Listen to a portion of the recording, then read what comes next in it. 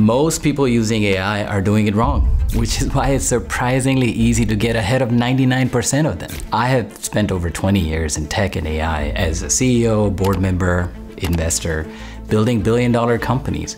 And here's what I'm seeing. The gap between people who understand AI and those who don't is getting wider faster.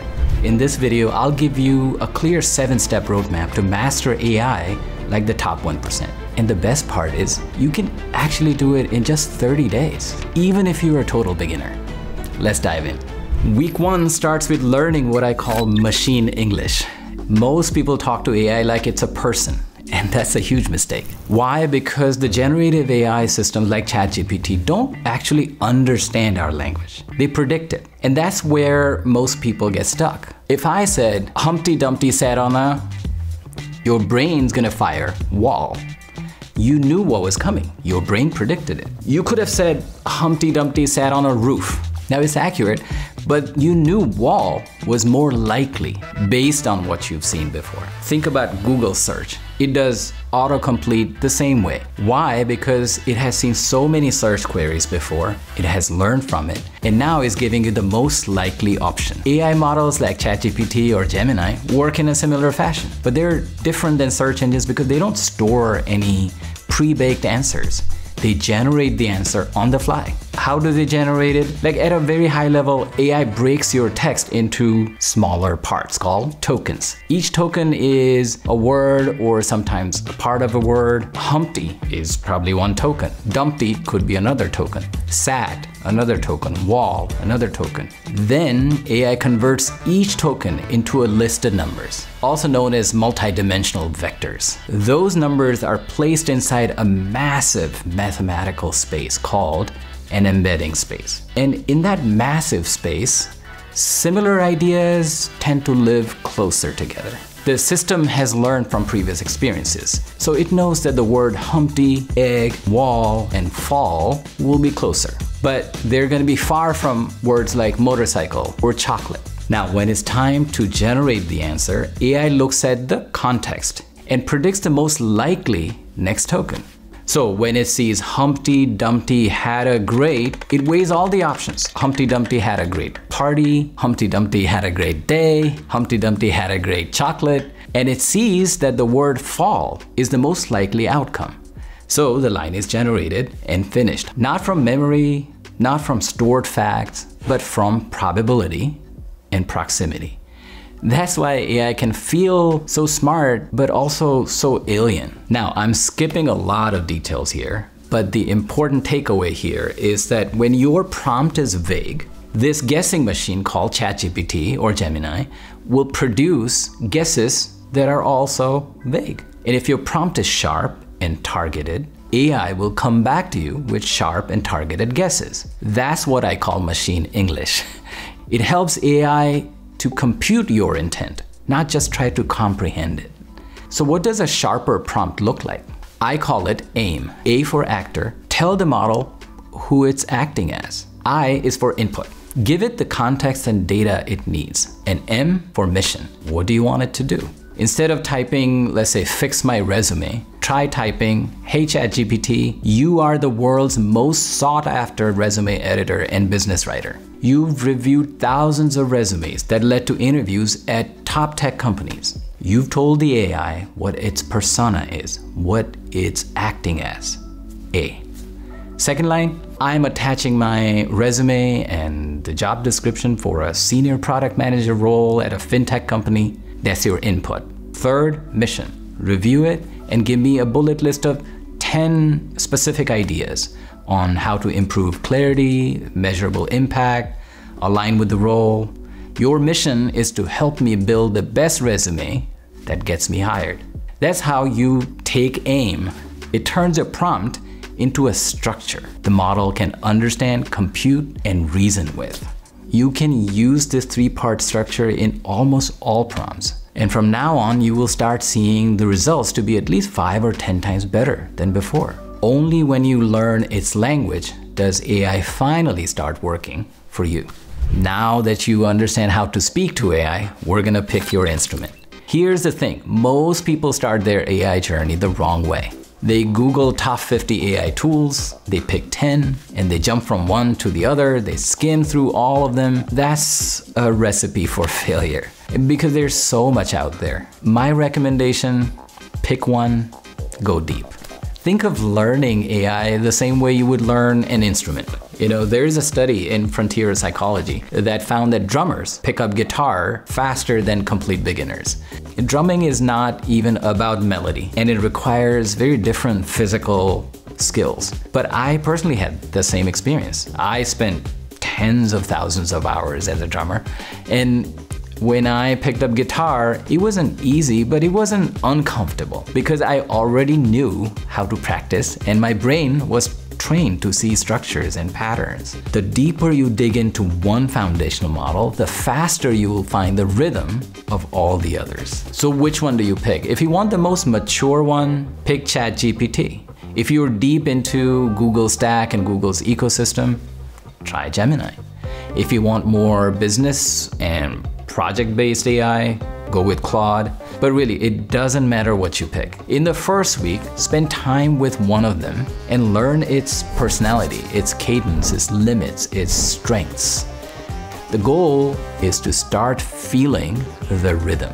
Once you get comfortable, try using the AIM framework that we talked about. By the end of week one, you should be able to write a structured prompt without thinking. All right, so we've started using AI now let's talk about what actually makes your outputs smart, and that's context. The world's smartest AI will sound clueless unless you feed it context. Every answer AI gives depends on how it understands the question. If you don't give it context, it has no grounding.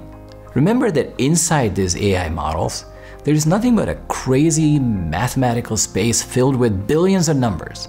Context is the map that helps you navigate that space to tell AI where to look and what matters. And the best way to build that map is with an acronym I call MAAP.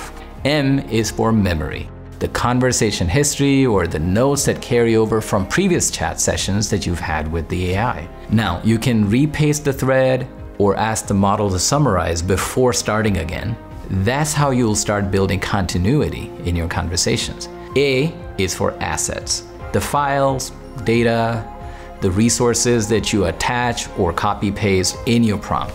These assets help you ground the model in reality. Second A is for actions. Now these are the tools that the model can call to do work. The action could be search the web, or scan your drive, or write this code, or create a Notion doc. And P is the prompt. And the prompt is the instruction itself. So the better you get with memory, assets, and external actions, the better context you'll give AI in the prompt. And the richer the context, the better the AI reasoning and response.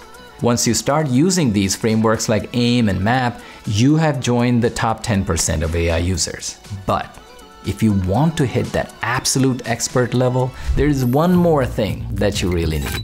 Debug your thinking, which is step four. When you're not getting the right answer, the problem is not the AI, it's your thinking. I remember the first time I ever prompted an AI. It was one of those earliest models from OpenAI. And I spent an entire day trying to make sense of it. And by the end of it, I was super frustrated because it was random, it was unpredictable. But back then, no one understood. The phrase prompt engineering hadn't even existed yet because prompting isn't typing, it's iterating. When the output is weak, I assume the fault is mine because it is. Did I get it the right persona? Did I provide the right context? Did I give it the right goal? And sometimes I even ask the model itself, what did you do and why did you choose that answer? It will explain its logic, it will explain its chain, and that's when the magic starts. You're not just using AI, you're learning how it thinks. There are three cheat codes I use for that. The first is the chain of thought pattern. When the answer seems off, I would say, Think step by step, show your reasoning. Then give me the final concise answer. The second is the verifier pattern. I would say to the AI, ask me three questions that would clarify my intent to you. Ask them one at a time, and then combine what you've learned and try again. And the third is the refinement pattern, where you're refining your input itself. Before answering, propose two sharper versions of my question. Ask which one I prefer. So AI will tell me how to ask the right way. And then we continue. And you have to keep iterating with these patterns because these loops can teach the model how to understand you and teach you how to understand the model. Test, tweak, tune up, push until you can tell why something is working and why something is off. That's when it clicks. You're not talking at AI anymore. You're having an ongoing conversation. You and AI are learning together from each other. But here's the thing it's not enough to just debug your mind. If your post sounds like every other LinkedIn post I see that's pasted from ChatGPT, you still have a problem. And that's why step five is to steer to experts. When you ask ChatGPT a question, you're not searching a database of answers. You're sampling from millions of probable ideas that AI has learned over time and is storing as billions of numbers. Some are brilliant, some are average, some are completely made up, and some are flat out wrong. If you prompt vaguely, like explain how to make a team more innovative, the model will give you a superficial, generic, blah answer full of buzzwords. And you read it and think, yeah, I already knew that. So, how do you fix that? You direct the model away from the middle and toward the sharper edges of its brain.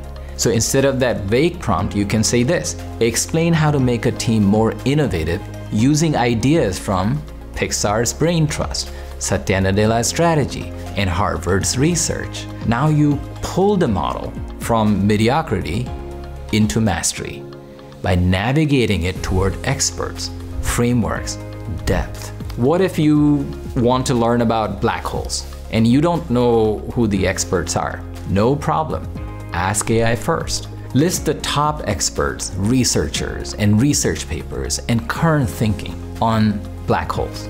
Then feed the same thing back to the model and prompt using these experts and sources, synthesize the original framework that fills a current gap on the science of black holes or whatever it is that you're after. That's the way you make sure AI is not an echo chamber anymore. But remember, you're gonna need to verify what you get. That's our step six. Sometimes AI will tell you things like 68% of Americans are getting divorced. I mean, you know it's not true. But the scary part is AI will sound just as confident when it's wrong as when it's right. So you can tell AI 100 times, stop making stuff up. But all models are essentially generative by design. Making things up is why they exist. So what do you do about that? You simply verify. Don't just consume, critique. There are five ways to separate intelligence from illusion. Assumptions, sources, counter evidence, auditing, and cross-model verification. Let's take one at a time. Assumptions, ask. List every assumption you made and rank them, each by confidence. Second is sources. Ask, cite two independent sources for each major claim that you just made. Include title, URL, and a one-line quote. Now you can check it yourself.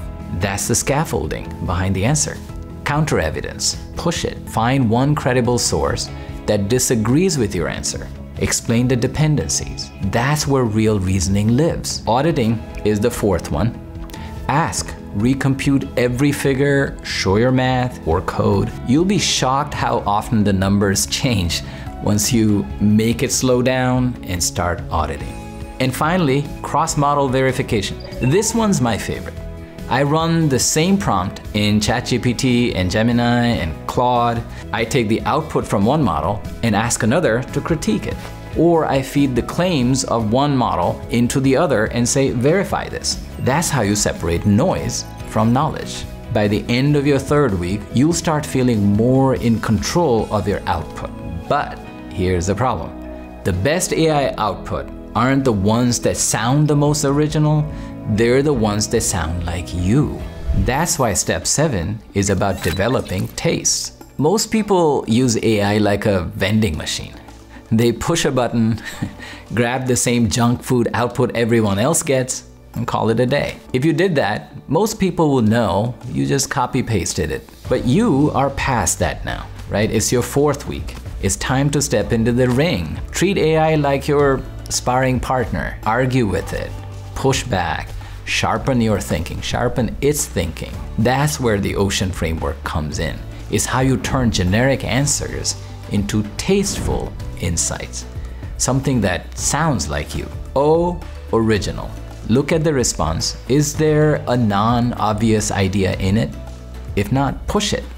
Ask, give me three angles no one else has thought about. Label one as risky and recommend the one that you like the most. C, concrete. Are there names, examples, and numbers that make sense? If not, ask. Back every claim with one real example. E is evident. Is the reasoning visible? Is there enough evidence? If not, ask. Show your logic in three bullets. Provide evidence before you provide final answer. A, assertive. Does it take a stance you could agree or disagree with? If not, push it again. Don't tell me what I want to hear. Pick a side. State your thesis, defend it, and then address the best counterpoint. N, narrative. What's the story? Does it flow? Is it tight? Guide it. Write it like a story. Hook, problem, insight, proof, actions, whatever you want in that story. So that's the ocean framework to add taste to your output. Now, as you apply this over 30 days, you will start noticing something deeper. Every prompt you write Every revision you push, every judgment you make, you're not just training the model, you are training you. AI is coming, whether we like it or not. To some, it might be triggering lots of deep fears. But I remain a perpetual optimist. I think AI is not here to replace human work. It's here to restore human worth. If you like this video, don't forget to subscribe and check out my most recent video here. Thank you, and I love you.